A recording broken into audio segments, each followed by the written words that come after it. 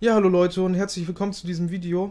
Wie ihr seht aus aktuellem Anlass, vor vier Tagen hochgeladen vom Spiegel eine kleine Reportage über Attila Hildmann, der ja äh, vom Mainstream quasi zur Galionsfigur geformt wurde, der rechten Verschwörungsspinner-Szene. Ja, man äh, arbeitet ja so, dass man alle möglichen Theorien in einen Topf packt und da mit der Nazi-Keule draufhaut. Und hier hat man das ganz besonders wieder getan. Und an dem Bericht sind mir wirklich sehr viele Ungereimtheiten aufgefallen, die darauf schließen lassen, dass Attila Hildmann Teil dieses Spiels ist und ja hier einfach nur eine Kunstfigur verkörpert, die über Jahre aufgebaut wurde, um jetzt im Finale sozusagen ein bestimmtes Bild zu vermitteln. Ja, es geht ja für die Verschwörer darum, die Masse der Leute abzuholen und sie auf ihren Weg zu bringen und von der Wahrheit abzulenken. Und da macht es natürlich Sinn, die Aufklärerszene zu kontrollieren. Und das hat man mit Attila Hildmann offensichtlich sehr gut gemacht, um jetzt das Bild des verrückten rechten Verschwörungsspinners äh, ja, den Leuten einzutrichtern und dass jeder, der Kritik am System äußert und auf bestimmte Themen versucht zu sprechen zu kommen, äh, ja, als Rechter dargestellt werden kann als Aluhut tragender rechter esoterischer Verschwörungsspinner. Das ist immer dasselbe Spiel, dass man diese ganzen Sachen nimmt, in einen Topf wirft und da mit der Nazi-Keule draufhaut. Also es ist wirklich heftig. Allein schon, allein schon dieses Thumbnail hier, wie er da abgelichtet ist. Also auch ein Augensymbolik, ne? Das ist auch sehr auffällig. So, und jetzt möchte ich aber mal, ich werde das Video nicht abspielen, weil ich keine Lust habe, mir hier irgendwelche Verstöße einzufangen. Deshalb werden wir das einfach mal, ich habe mir Stichpunkt, Stichpunkte gemacht, dann werde ich hierzu kurz mal was sagen. Also, hier am Anfang ist schon mal auffällig, bei Minute 25 wo sie ihn fragen, was er jetzt so die letzte Zeit gemacht hat. Er erholt sich von seiner, von seinem Kampf gegen das Corona-Regime sozusagen. Und ja, er, grinst teilweise auch an anderen Stellen hier sehr schelmisch. Und ja, bei Sekunde 35, da ist dann die Rede von einem Fronturlaub und überhaupt diese militärische Ausdrucksweise, die ihn als radikalen, äh, militanten Spinner darstellen soll. Also die Wortwahl, die hier getroffen wird, ist schon wieder so eingenordet und, und vor, also beeinflussend für Dritte, die jetzt nicht so tief in der Materie drinstecken. Also da wird ein eindeutiges Bild gezeichnet und was dabei äh, ja, Leuten dann im Kopf hängen bleibt, die da nicht so involviert sind in diese ganzen Themen, äh, das ist dann klar. Äh, auch hier bei Minute, äh, bei Sekunde 59, da spricht er teilweise die Wahrheiten an, also von wem das alles ausgeht. Äh, speziell zwei Gruppierungen, wo ich absolut Ja sage, also Freimaurer und Leopoldiner. Und dann aber spricht er vom Kommunismus was wieder so, ja, das ist so, so verallgemeinernd und trifft überhaupt nicht den Nagel auf den Kopf. Man, man kann nicht einfach Freimaurer, Leopoldiner und Kommunisten als Verursacher da in einem Satz nennen. Das ist total unglaubwürdig. Hm. Ja, auch hier bei Minute 4 und 21 Sekunden. Also da filmen sie ihn hier dann zu Hause auch hier interessant vorm Computer mit der äh, Reichskriegsflagge, Flagge, wird er da äh, schön äh, abgefilmt und überhaupt die Atmosphäre bei ihm zu Hause jetzt mit dem Kamerateam. Es ist, es ist so, als wenn, als wenn da so irgendwelche Freunde von ihm wären und ihn filmen. Er ist total ruhig. Also, das ist sowieso das, das Verrückte daran, dass er sich vor die Kamera stellt, obwohl er doch genau wissen müsste, wie Spiegel das dann hinterher in, in dem Bericht dann darstellt. Er müsste doch. Also er, er, er könnte, er dürfte ja nicht einfach die Ruhe selbst sein, das ist ja total unglaubwürdig es ist alles, also von vorne bis hinten gestellt, geskriptet. Auch, dass er hier im, im, im Garten ist und da äh, sich beim Trainieren filmen lässt. Das ist alles, das ist alles gestellt, wenn ihr mich fragt. Ja, was da auch mit für Begriffen dann wieder um sich geworfen wird, also bei Minute 44 Sekunden Verschwörungsquark. Er könnte da seinen Verschwörungsquark in seinen ganzen äh, Foren, wo er unterwegs ist, da unter die Leute bringen.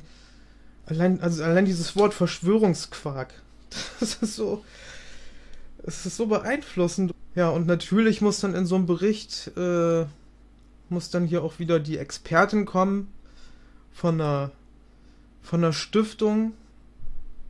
Mal gucken, von der Amadeus Antonio Stiftung. Die Frau weiß natürlich Bescheid und die erzählt dann hier den Leuten, dass alles also dass, dass, dass es das schon länger gibt und dass Leute das schon vor Jahrhunderten gemacht haben. Also die Theorie geäußert, dass es eine Machtelite gibt, die äh, die Welt kontrolliert. Aber das ist natürlich alles rechts und ja, das ist einfach nur Verschwörungskram.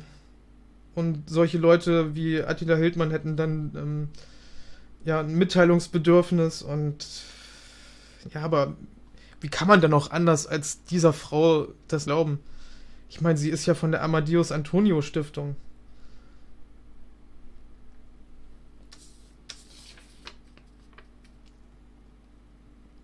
Also hier bei Minute 25 Sekunden, da wird dann versucht, der Sache also so viel rechten Flair zu verpassen, wie es nur geht. Alles, alles wird über einen Kamm geschert und ja, es ist nur die Nazi-Keule hier am Start mit der hier gearbeitet wird.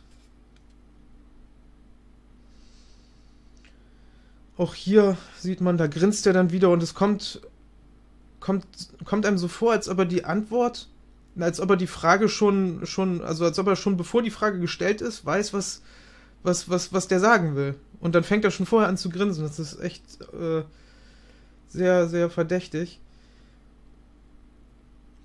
Ja, hier, das wusste ich auch nicht, dass er hier so eine krassen Reden geschwungen hat. Also er, in den Reden, die er da vom Reichstag äh, vom Stapel gelassen hat, da, da kommt er auch so aggressiv rüber und, und seine Mimik und seine Ausdrucksweise, das ist wirklich, wie das hier dann auch in Minute 11 des Berichtes gesagt wird, er, er heizt die Stimmung vom Reichstag an. Er ist dazu da, um die anzuheizen. Ja, die Leute müssen angeheizt werden, weil das ja alles so eine rechten Verschwörungsnazis sind. Ja, was mir auch sehr negativ aufgefallen ist und was überhaupt nicht sein kann und ich niemals an seiner Stelle gemacht hätte, wenn ich versucht hätte, das irgendwie seriös rüberzubringen, dass er sich dann hier eine Uniform anzieht. Ja, hier geht es dann jetzt ums Impfen. Äh, wenn, dann, wenn dann der Staat soweit ist und alle zwangsgeimpft werden, dann ja, werden die hier mit, mit so einer Uniform rumrennen, die Verantwortlichen.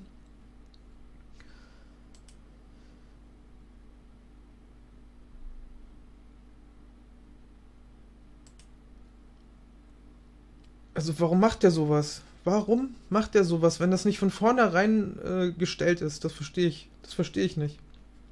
Man weiß doch, wie der Mainstream verfährt mit, mit Leuten, die nicht systemkonform sind.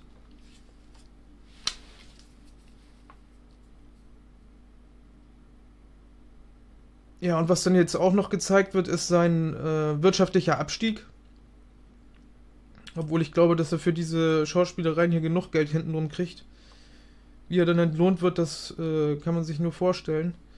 Aber da werden bestimmt Gelder fließen, damit seine Einbußen, seine Millionen Einbußen durch seinen nicht mehr angebotenen, in den großen Märkten angebotenen Energy Drink dann wieder ausgeglichen werden. Beziehungsweise vermute ich, dass das mehr als ausgeglichen wird für das, was er hier abzieht. ja, ich würde auch schon so weit gehen und sagen, der ist von vornherein erfunden. Eine Kunstfigur, die genau das jetzt, dieses Bild abgeben soll.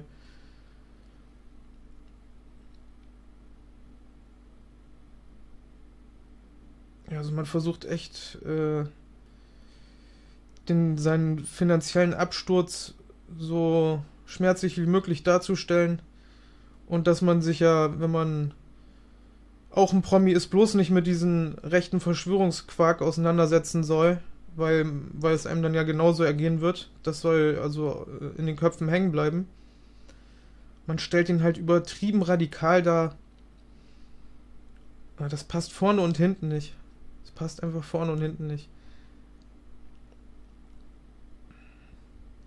Ja, auch wenn sie ihn hier mal festgenommen haben da auf den Demos und das hat alles nichts zu sagen. Ja, und was er hier dann auch zum Schluss sagt, dass er die politische Macht des Landes übernehmen will. Also damit war er jetzt, äh, den Ganzen noch die Krone aufgesetzt. Also das ist ja völlig größenwahnsinnig. Und genau das soll der Bericht verkörpern. Dass der Typ ein größenwahnsinniger, radikaler, rechter, Esoteriker, Verschwörungs-Alu tragender verrückter ist. Also, das hat man hier echt gut geschafft, muss ich sagen. Und ja, ich denke mal, einigen von euch wird da auch noch mehr auffallen, mehr Ungereimtheiten. Da bin ich mal gespannt, was sich so in der Kommentarleiste wiederfindet. Deshalb guckt es euch an. Es ist wirklich abgefahren, mit welchen Mechanismen hier vorgegangen wird. Und es ist wirklich erschreckend, wie viele in Anführungszeichen Aufklärer doch nur kontrollierte Opposition sind. Ja, aber wäre ich die Elite, würde ich das genauso machen. Es ist wirklich genial. Das muss, das muss man einfach zugeben. So wie das alles aufgezogen geplant ist, psychologisch. Ich meine, dafür haben sie ihre Thinktanks. Es ist wirklich genial. Man kann es nicht anders sagen. So, dann, äh, ja, guck dich das selber an. Und dann würde ich sagen, bis zum nächsten Video.